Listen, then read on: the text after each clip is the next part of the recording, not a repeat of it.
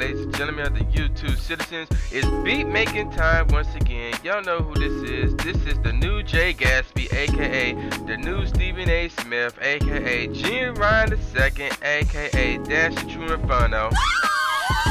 And I'm back. Today's the 24th of June.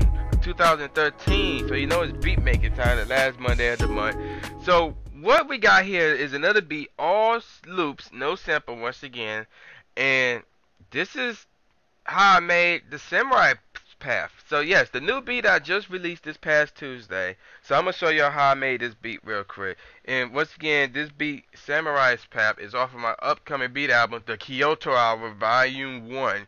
So look out for that. This beat will be available for you to listen to without the uh the vocal watermarks or anything like that.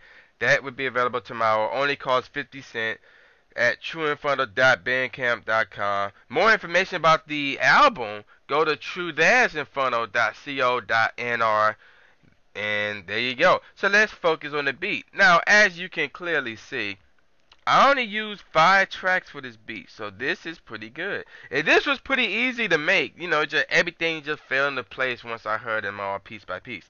So let's get to track number one, which is the focal point of the whole beat right here.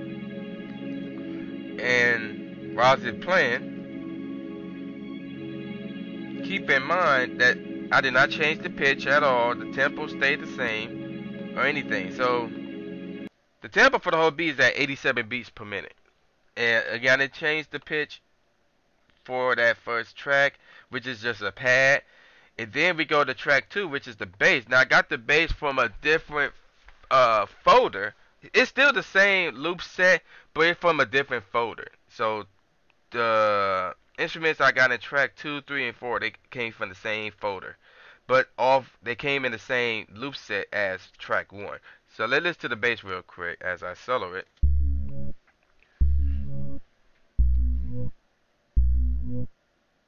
And then repeat again like that. But look at this again. I didn't change the pitch. The pitch stays the same. Alright, so let's go over to track number three now. Where we get to one of the two melodies here. Let's listen to them.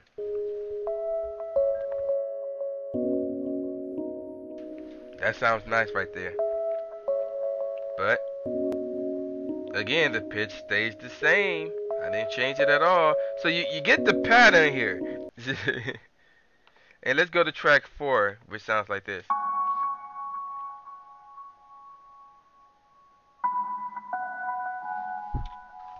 Uh-huh. And again, I didn't change the pitch, just to let you know.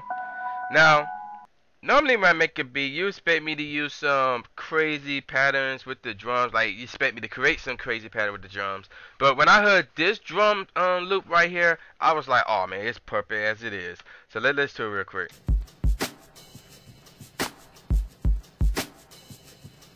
Yeah. Right? That sounds nice. And just so I can just show you again, I didn't change the pitch. I normally don't change the pitch of anything drums related. Sometimes I do, but not as often. Alright, so let's listen to the beat as a whole real quick. So it starts off with the pad and the drums. The drums going to be consistent mostly throughout the entire beat, but not all the way. So you you hear this again, the pad and the drums combination. Then the bass gonna kick in. Four, three, two, one. Sounds nice, right? Already, you already drawn in to this beat to Samurai's path. Alright, so what's gonna happen next is the first melody is about to drop. So here we go. Five, four, three, two, one.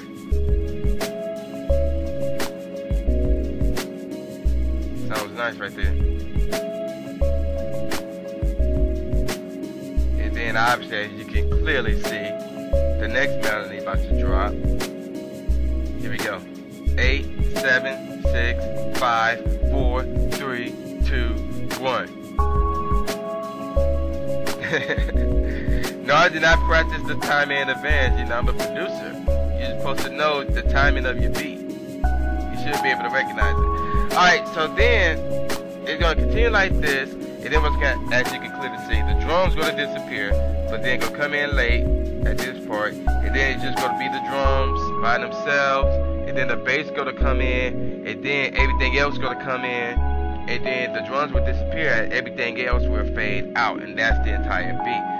So yep, let me give you once again the info for all of this right here. Samurai's Path, you can listen to it on my YouTube channel. I released it this past Tuesday. However, if you want to own it so you can listen to it in your car or in your stereo or whatever, go to truinferno.bandcamp.com. The beat will be available tomorrow, June the 25th. So that would be available for you to download and to keep yourself. It's only 50 cents to do so. And this beat, Samurai's Path, is off of my upcoming album, The Kyoto Hour. So stay tuned for that. More information on that is at truedanceinferno.co.nr. And that's pretty much it. You know, stay tuned. I got a lot of stuff coming up. July is around the corner. This is That's Tru Inferno. Then